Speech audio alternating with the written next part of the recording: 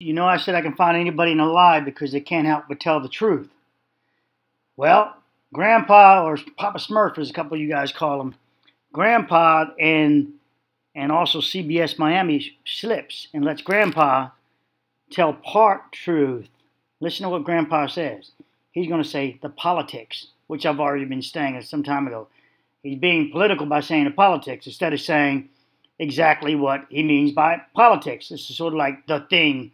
We got to do things there, you know. So, uh, yeah, now he's saying politics. In reality, let's get this thing. The conversation probably went, we need to put this back on the books. We got to put this behind us. This is not going to be a, uh, a um, um, uh, the collapse in Louisiana. It's not going to be a Hard Rock Cafe thing. We're going to put this behind us real fast. Let's get this over with. That's probably the way the conversation went. And and but he's going to say politics. This is my thinking that that's what happened. Let's go. For what he calls a trigger, but he's frustrated that he cannot get samples from the collapsed site because it is considered a crime scene. So it's considered a crime scene, but you don't let the guy that's supposed to be such a uh, you know, valued engineer, I don't mean value engineering, a valued engineer, you don't let him onto the site to do his sampling. But you let NIST there. So NIST obviously is on board with the program, but we can't have a third party conflicting with NIST, a second party. This is why he's been, why he, you know, he's, we don't, they don't, NIST doesn't want to share the report with him first. They don't want to co-author because he doesn't want to co-author. He wants to be the head man. We saw that in the previous video. So they simply, simply you do just keep him out. That's all you do. Just keep him out, and you don't have to worry about co-authoring or him trying to get credit because you see him bragging about being 9/11 and all that. You don't, you don't need that. You need to put this behind you real quick, as the judge um, shows that that in this case that he even wants to see one lawyer. The judge stated one lawyer representing all these people. So they don't give a fuck. They just all about money down in Miami. Watch this. The politics is. There's a smile. Meaning that's not the word I want to use. Watch. Because it is considered a crime scene. The politics is different than what I'm used to. Usually, when we get involved, we're put in charge and we do what we can do when we have to do it, and there's usually never a lot of hubbub about it. This is. And then they edited them out because remember, they, they're representing CBS Miami. They don't want the truth. They control the narrative. Now, this guy's going to go all about this, a confluence. Uh, I, I had to make sure I looked up the definition of confluence. Of course, it means just what it means. But I was like, I haven't heard anybody use the word confluence. I think I don't think I've heard anybody use the word confluence, although we know what it means in my entire life. Uh, confluency, that's confluent, but this is the confluence. You know, it's confluent. One of those things in life that is inexplicable, like an earthquake. Now listen to him. He's already made his definition. It's inexplicable, like an earthquake. Now, a couple of you comments said they're going to call it an act of God. Of course, I said the same thing, pixie dust. There it is. He's already made a conclusion. It's inexplicable, like an earthquake. Because they don't want to find the real answer, because that means they would have to fix all these damn buildings down there. So this is going to, you already have your answer where they want it to go. Like lightning striking, like uh, like a, a spontaneous, huge forest fire that destroys hundreds of homes. You know. It, so this is like a forest fire, an act of God, earthquake, everything, everything but construction failure.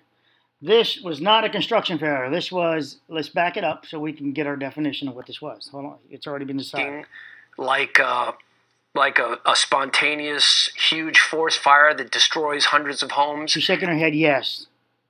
You know, nobody knows about. And, you know, we were unlucky enough to be the little town where that happened. Look at the head confirming.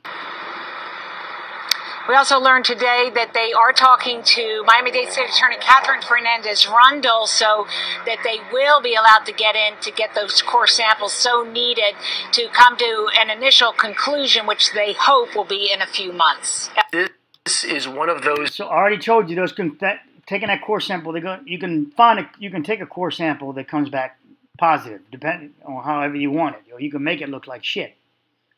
So, and this is a 40 year old building. How many 40 year old core samples are taken, and, and, and what can you get from that data? What are you going to compare it against? You got another 40 year old sample that was sitting in the beach at the bottom garage. Did you take one from the other building that was built about at the same time? That'd be a good sample comparison. But did he take it? We didn't see him take it. When we have to do it, and there's usually never a lot of hubbub about it. This is one of those things in life that is Listen. inexplicable. It's inexplicable. This is inexplicable. There's the answer. The mayor says it's inexplicable. It's an act of God. Listen to his comparisons. Like an earthquake. Earthquake. Like lightning strike. Lightning. Striking.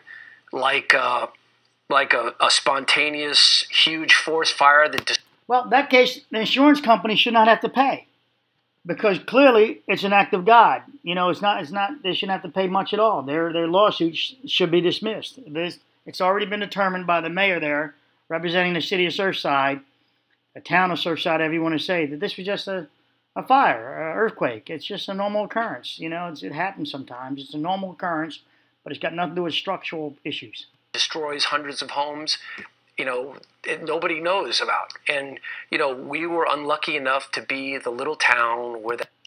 Now, now they're the little town that's going to have to deal with, the deal with, uh, that they don't want to have it. Okay, let's see if I can find. I got to go back an image, one video for you guys. Let's get, go back one video. And no yeah. money in the. Okay, so I went back one video.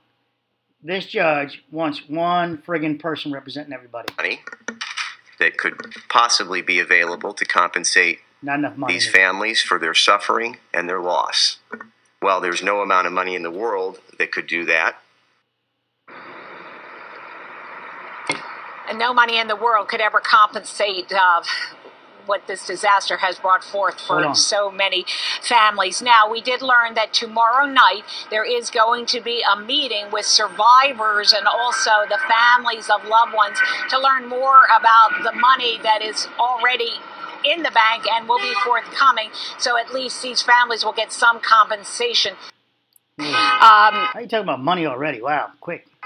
They also, uh, one of the lawyers said in court how what a difficult road ahead it is going to be.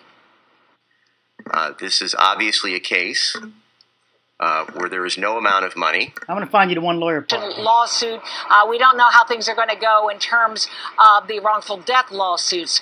Um, he go. also said that he'd like to have one lawyer just to deal with one lawyer in a leadership role. So, you heard that? So, all these people, 100 plus people dead, and the judge is like, give me one lawyer to deal with. One deal with one argument, one person. That is craziness. You know, what can you do, guys? You already have the, the, the you already heard it's an act of God. You hear the the the the, the judge saying, "Just give me one lawyer to deal with." I, you know, I'm just going to throw all you all you in one case. And you got the uh, mayor saying, um, "You know, act of God." You got their engineer finally slipping up in his words, saying it's political. So you know right then that uh, that uh, it's what I was saying is that this is just about taxes and making making the money.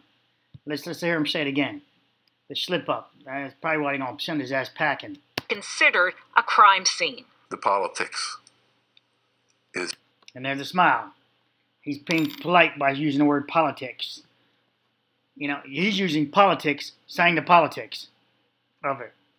This is not ever going to be a real investigation. If you remember my my picture I put up here of the of the cop uh, with the smirk, you know, this, with the smirk on his face. You remember this picture here, the wink and the nod. Well, did you you guys should see what I did here? What I did was I went through two pictures. Look, he actually had a wink, a smirk, and a nod. When he's talking about the investigation. Smirk, wink, and a nod. So, all right. So, this is not. You're not going to get anything from this. This this uh, Papa Smurf, as you guys call him, time for him to go back home. He's still part of the cover up because he's not speaking out. He doesn't want to mess up his reputation by speaking out, saying this is bullshit. Let me tell you guys what's really happened. Everybody's always worried about, even this guy at his age, as we talk about age, right? He's still worried about his reputation. He doesn't want to be known as the guy that went down there and spoke up for the people. He's like, you know what? Fuck it. You know what? I got my money. I got my contract. They don't care. They're going to allow one lawyer anyway to uh, represent them, and they just want their money right now anyway. So if they don't care, I don't care. That's the way that goes. That's the way that goes in real life. You know, you just throw in the towel. You're like, you know what? Fuck them. Just give me my contract money. And uh, you know what? I know the real deal. And I'll tell some select people in my group because he has to tell. He has to tell. So I took a yes, right? And in there it says that uh, we have to tell somebody our crimes. But now that falls into my amygdala theory is that we can't tell a lie. In his case, holding it in his brain would be holding, telling a lie. My amygdala says reason why you have to tell somebody else is to let the truth come out. You can't have that conflict of the lie stay in his head, including the, the, the part of it will be the smirk laugh of the, the smirk of the cop and his using the words politics and then the smirk on, on and then the smile. The politics. You know, the politics, you know, and then the smile there. So this is the giveaway of this guy. All right, so you know, with me, I don't have a giveaway. You know why? Because I just tell the fucking truth.